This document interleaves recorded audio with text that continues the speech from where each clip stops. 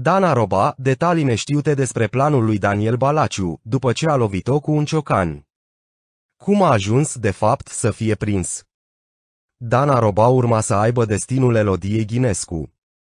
O moarte despre care tot ea declară că fostul soț i-a premeditat-o până la cel mai mic detaliu, doar că totul a luat pentru el o întorsătură neașteptată. Acum, la câteva luni de la momentul agresiunii, Bruneta a declarat că tatăl fetițelor sale voia să o facă să dispară exact cum așa s-a întâmplat în cazul avocatei Elodia Ghinescu, ucisă de soțul ei, om al legii, Cristian Cioacă. Ulterior, el avea în plan să fugă din România. Cineva trebuia să-l ducă până în Germania, acolo unde și-ar fi dorit să ia viața de la zero, doar că persoana respectivă l-a lăsat baltă, cu bagajul făcut și așteptând în fața blocului, după cele întâmplate. Nu era dispus să facă închisoare. El a crezut că o face pe Elodia, nu știu, a crezut că o să fie al doilea polițist care o face pe Elodia.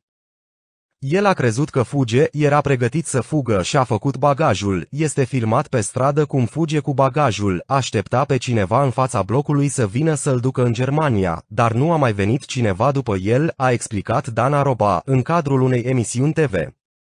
Așa a ajuns după gratii, căci s-a întors în apartamentul groazei, i-a verificat starea Danei Roba, apoi și-a luat fetele și a plecat la casa părintească. El a rămas acolo, apoi a urcat la mine și a întrebat dacă a murit.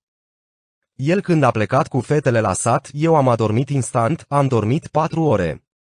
Dumnezeu m-a adormit și eu am auzit când el a venit și a băgat cheia în ușă, a mai adăugat ea.